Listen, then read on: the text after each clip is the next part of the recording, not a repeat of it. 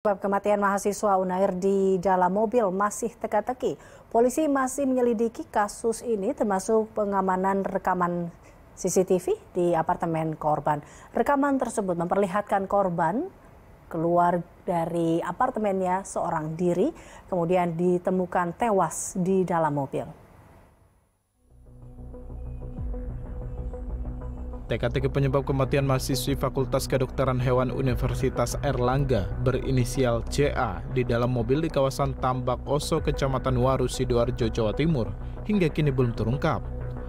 Polisi tengah memeriksa rekaman CCTV yang memperlihatkan korban keluar dari kamar apartemennya di kawasan Kayon, Surabaya pada Sabtu sore, 4 November 2023. CA nampak tak memperlihatkan keanehan sedikit pun saat meninggalkan apartemennya.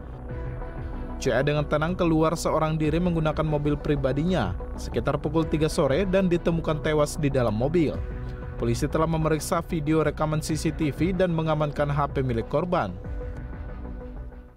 Belum bisa menyimpulkan, walaupun dugaan-dugaan itu ada, tapi kita masih menunggu lagi untuk hasil-hasil yang lainnya.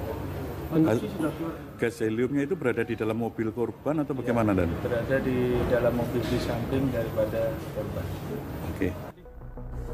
Korban pertama kali ditemukan oleh petugas keamanan yang curiga dengan mobil yang terparkir di apartemen. Saat dicek, ia menemukan seorang wanita berada di dalam mobil dalam kondisi sudah tak bernyawa, dengan kepala terbungkus plastik dan dilakban.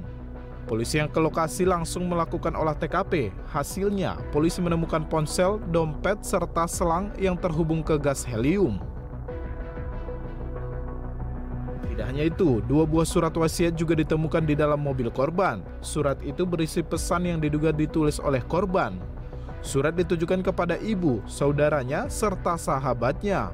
Surat berisi permintaan maaf serta cerita permasalahan yang dialami korban. Jenazah langsung dibawa ke rumah sakit untuk diotopsi dan uji toksikologi. Sejumlah saksi diperiksa di antaranya kakak dan adik korban, serta petugas keamanan tempat korban tinggal bersama adiknya. Jenazah kemudian disemayamkan di Kediri, Jawa Timur. Ayah sambung korban sangat terkejut dengan menemukan putrinya yang tewas dengan kondisi kepala terbungkus plastik. Sejauh ini, sejauh ini keluarga menyerahkan proses penyelidikan lebih lanjut kepada polisi. Tim Liputan, B Universe.